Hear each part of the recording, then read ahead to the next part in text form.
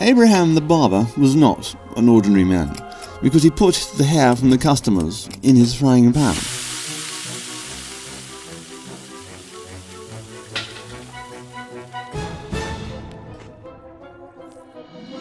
He collected all week from old ladies, boys and girls, and then spent his holiday eating chocolate-dipped curls.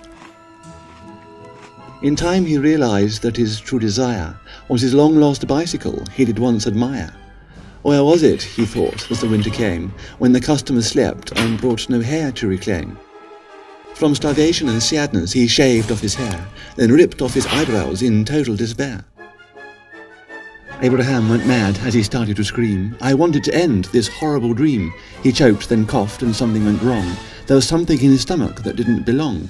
Out came the bike with a hairy new look, but Abraham could not ride it without the instruction book.